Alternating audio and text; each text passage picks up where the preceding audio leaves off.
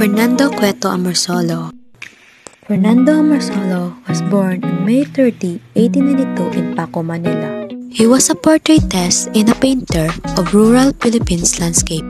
He was nicknamed as the Grand Old Man of Philippine art.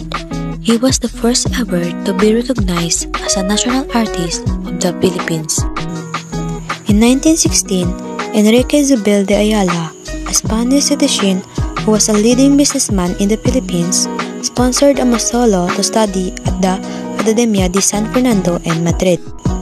While in Spain, Amorsolo became widely exposed to the work of gay European modern artists include French Realist, Impressionist, and Post-Impressionist.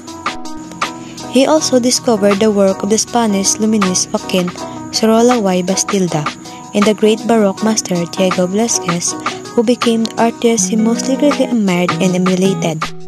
Using subject matter that he had borrowed from the Fabian de la Rosa, scenes of rice planting and harvesting, he created a series of paintings that captured the popular imagination. His 1992 painting, Rice Planting Soon, appeared on calendar, posters, and travel brochure. Amorsolo also created powerful image of Philippine colonial history including the first mass in the Philippines. During the long span of his career, Amorsolo's painting would continue to be reproduced in textbook, commercial image, magazine, and newspaper and became the accepted standard for historical imagery.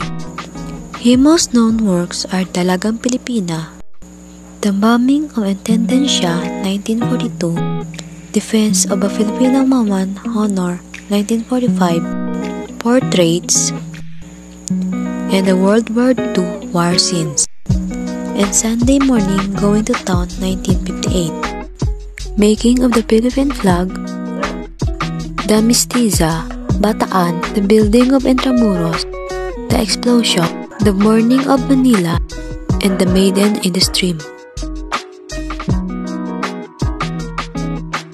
In 1908, second prize, Bazar Escoltati and Taki, Association Internacional de Artistas, for Levendo Periodico. In 1922, first prize, Commercial and Industrial Fair in the Manila Carnival. In 1929, first prize, New York's World Fair for Afternoon Meal of Rice Workers, also known as Noonday Meal of the Rice Workers.